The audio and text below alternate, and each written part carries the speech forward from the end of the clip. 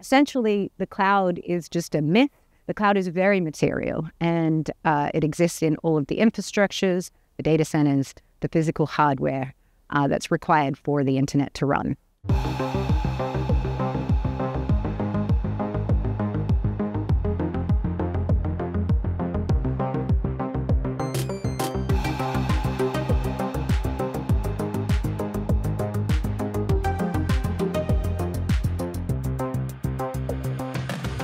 I think the most recent studies suggest that an interaction with ChatGPT that might take anywhere between 20 and 50 prompts would consume the equivalent of two liters of water.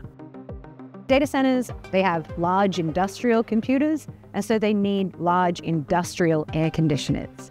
And there are different ways to cool the computers that are in data centers.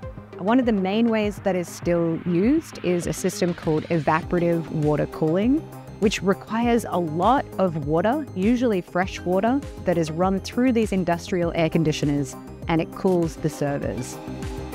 There is generally a lack of transparency in actual water usage. A lot of the projections are based on piecemeal data. It's also based on self reported data from the industry but we really need more transparency around how much water is actually being used so that we can better plan for water resiliency and the impacts to water sources.